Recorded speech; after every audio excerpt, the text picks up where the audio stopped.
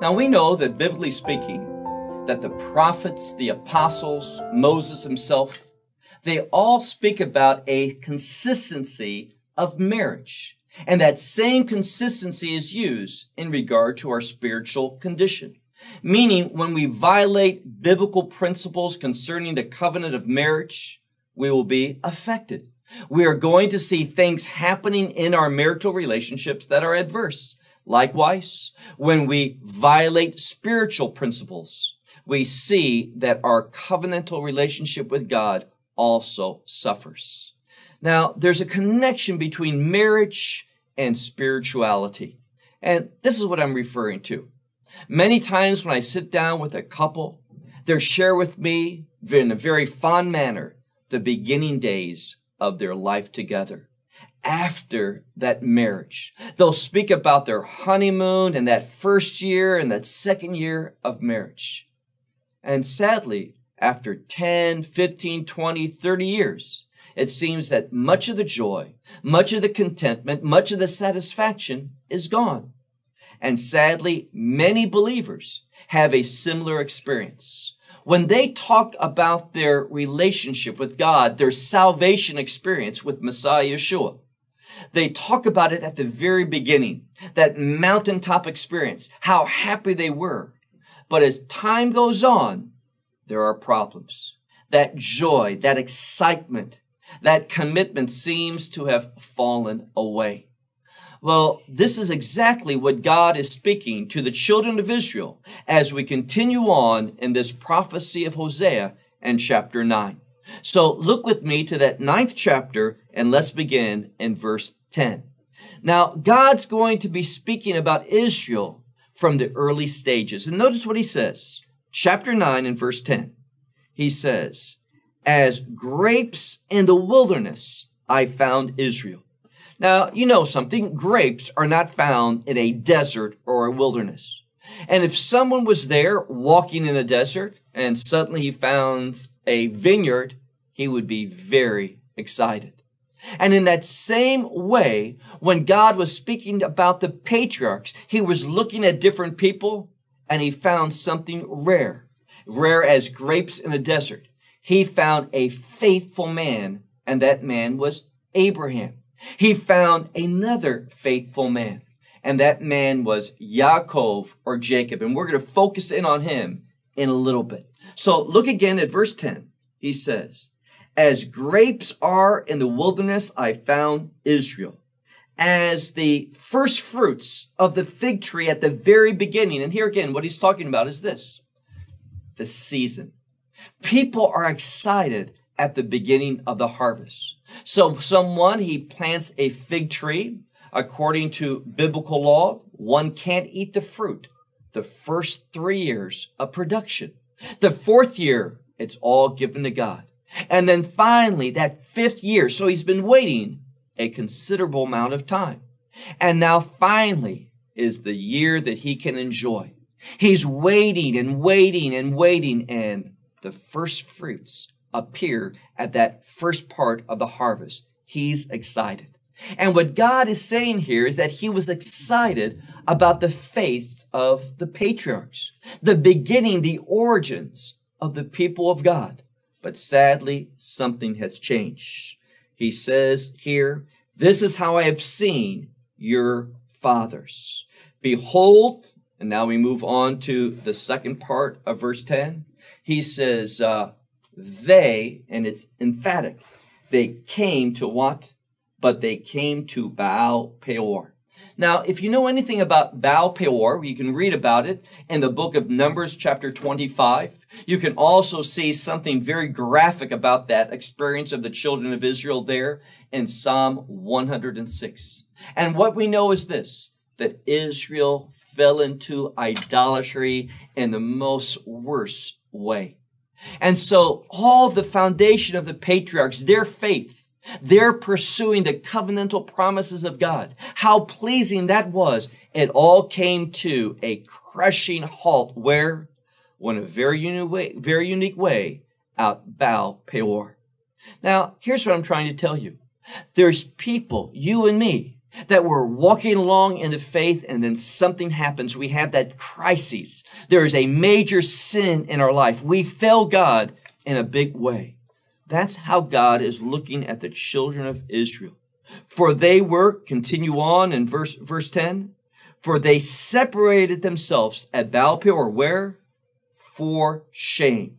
And they became, and what it literally says is that they became an abomination. What did? That which they loved.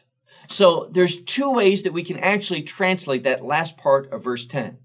They became an abomination as the very things that they loved. Or we can look at it and simply say that they loved their abominations, and that's how they began to thought. Either way, what it's trying to say is that Israel is no longer pleasing to God, that Israel has fallen away from the favor of God. And perhaps that's how you have felt. That you have, have failed God, that you have blown it in a big way, and that now God has, has kind of turned away from you. You're not experiencing His presence. You're not experiencing His anointing, that joy of the Lord, that excitement to worship, that, that desire to open up and wor- read His Word of God is not simply there in your life. But here's the good news. We're going to see that God can bring about restoration. But there's a process. And this is what that latter half or half of chapter 9 is going to be dealing with. We'll move on to verse 11.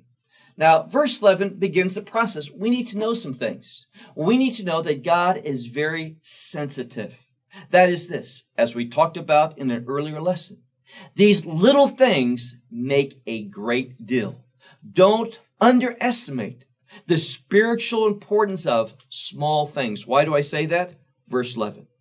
Ephraim, like a bird that flies away, is their glory.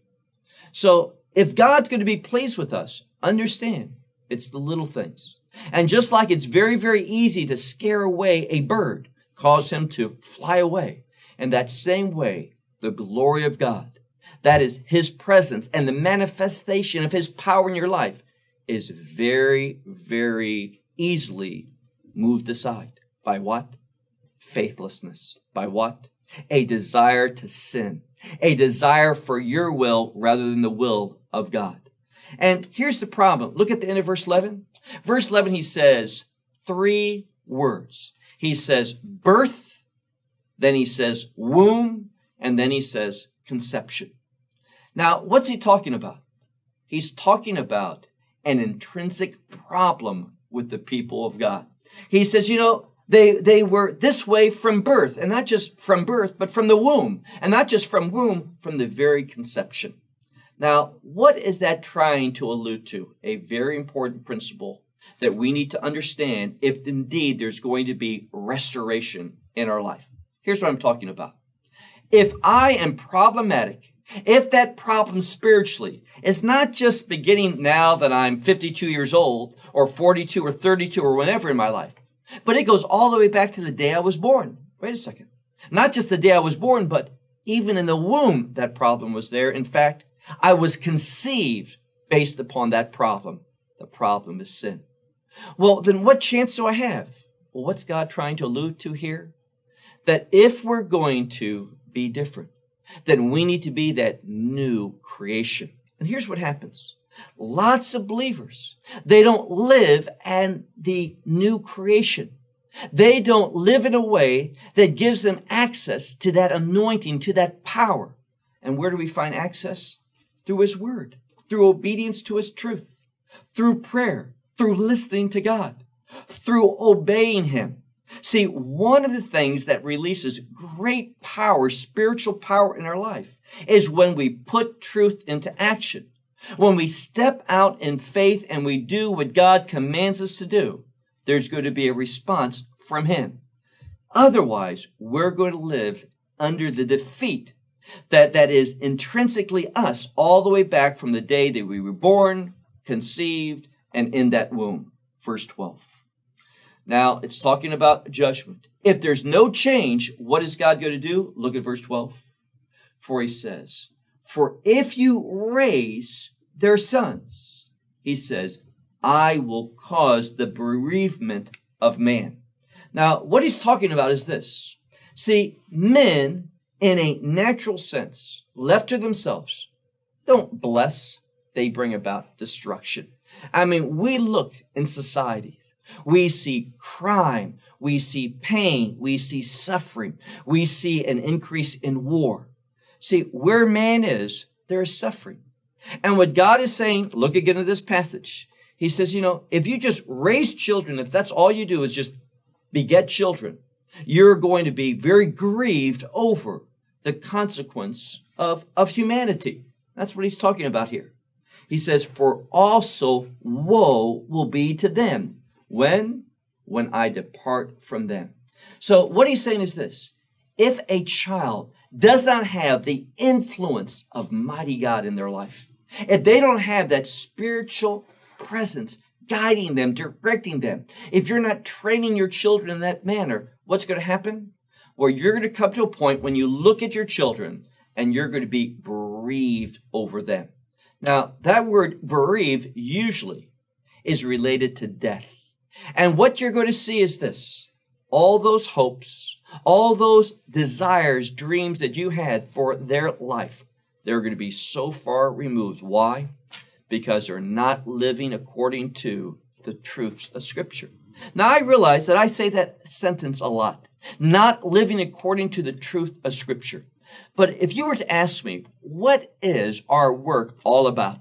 Why do we do these broadcasts? Why do we have these seminars? Why are we living in the nation of Israel? Why have we invested and purchased a study center there where we're training people to take that word among the Jewish people? Very simple.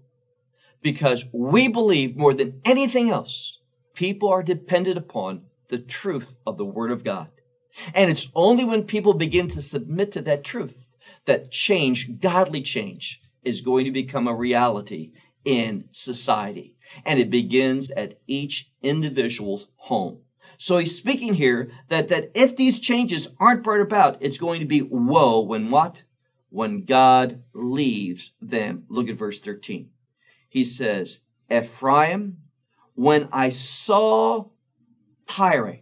So what he's speaking here is this. He saw Tyre in Lebanon and he saw Ephraim.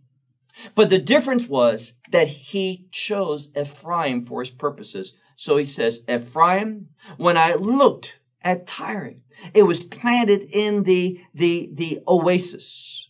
He says, so I moved what? I could have chosen Tyre, but I chose you and I saw you with such great potential. I saw you as those who had that origin through the patriarchs of faith. But what happened? Notice how far the people fell. And Ephraim brought forth his sons to the murder. Now, how do we understand that? Well, remember, in this passage, we're talking about Baal, Baal Peor. What's Baal Peor?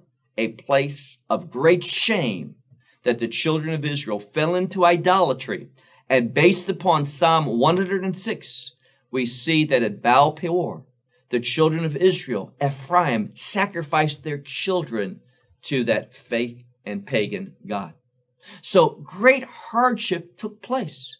Great misfortune, great uh, sin was the outcome, and God was grieved over it. So it says, and here the prophet is speaking, he says, Give to them, O Lord.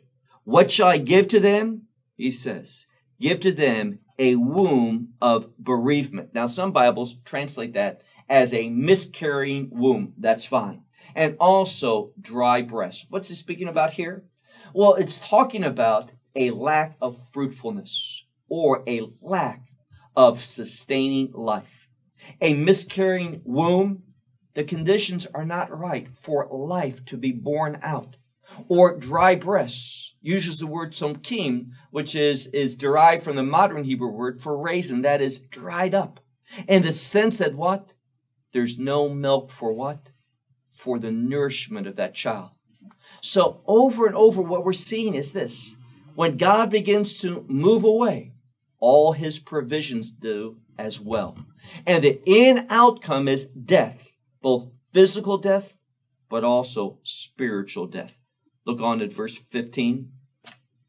For their evilness in Gilgal, for there I hated them according to all the wickedness of their, their deeds in my house, from my house, I am going to cast them away and I will not continue to love them for all their leaders are sorerim. Now this is an important word. I would say to you that verse 15 is one of the harshest verses in all of scripture. It speaks about God getting right to the point where he wants to end all of his covenantal relation with the children of Israel. And notice what he says at the end. I did not translate that word, sorerim. This is a very significant word. We find it in the book of Deuteronomy, chapter 21.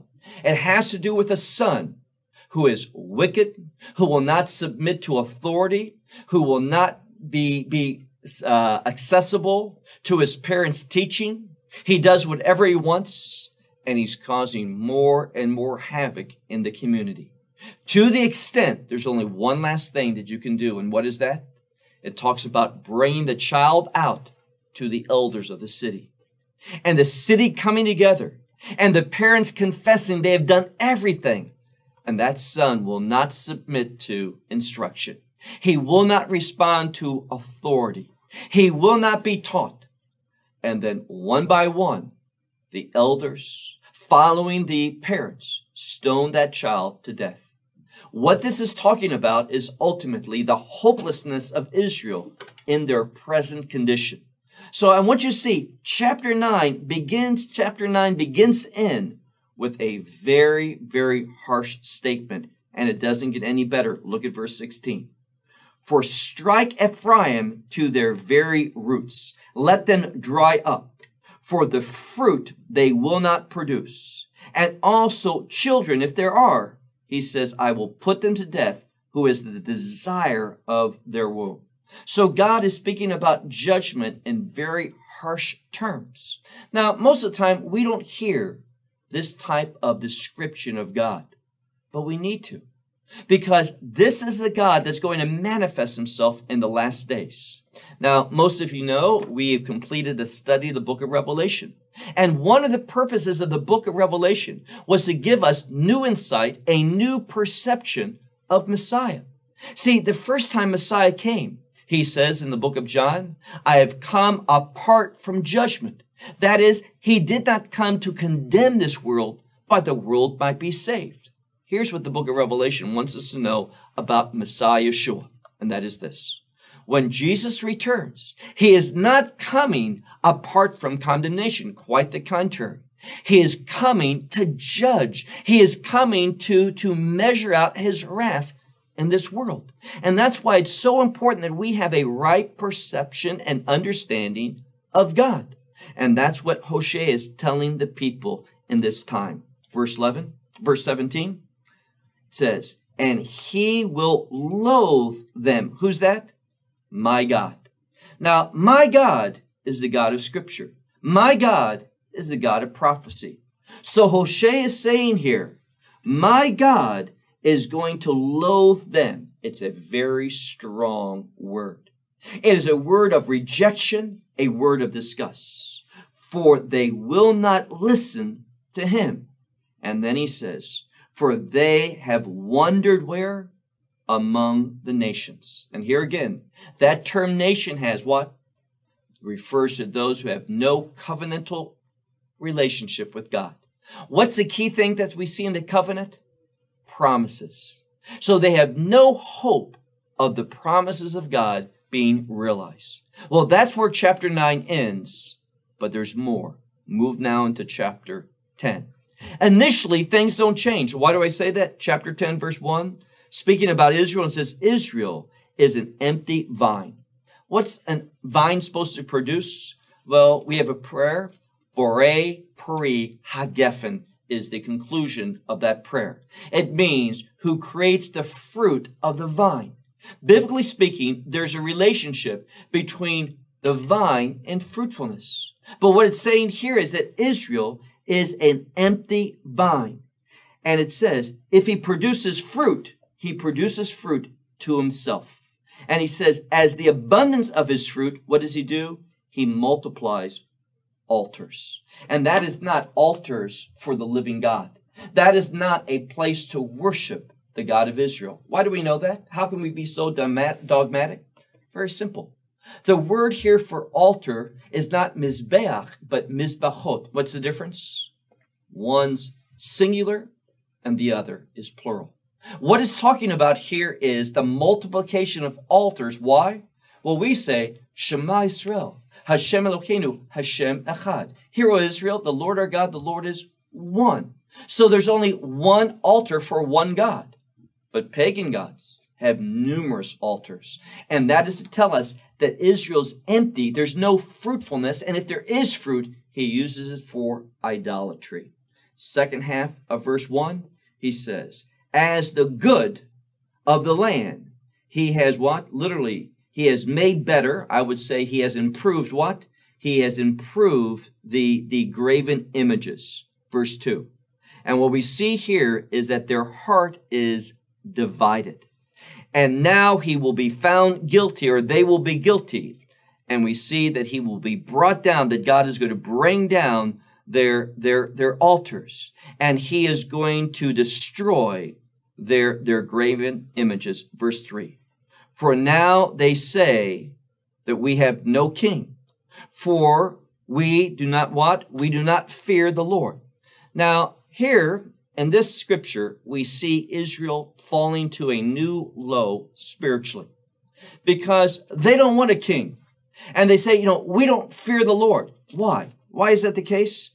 They say, for the king, and here they're referring to God, he says, what is he able to do to us? So they have no fear of God. And it's interesting of the change of, of terminology. Instead of talking about Lord or God, they use the term king. Why? King is rule. What they're saying is we submit, we acknowledge no rule of God over our life. And this God, if he did exist, what could he do to us? So it's great pride and just being so offensive to God. And that should tell us now why God said the things that he did and the second half of chapter 9. Move on to verse 4.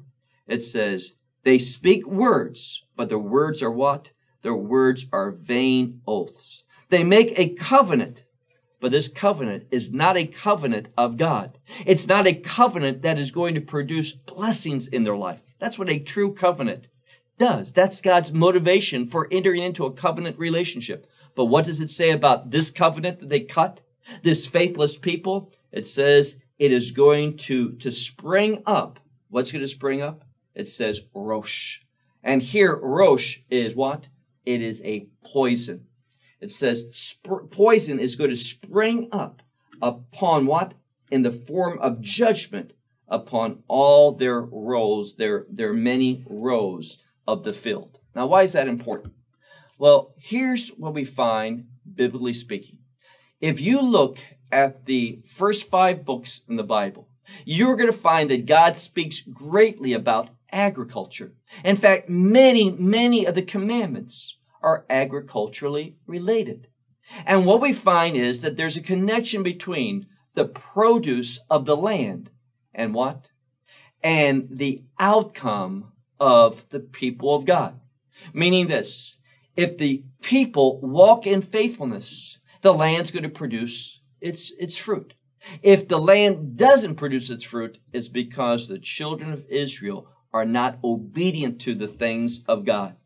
So here, when we look at this passage of scripture, it says that there's going to be judgment like poison upon the rows of the land. It's in the plural. It ought not be.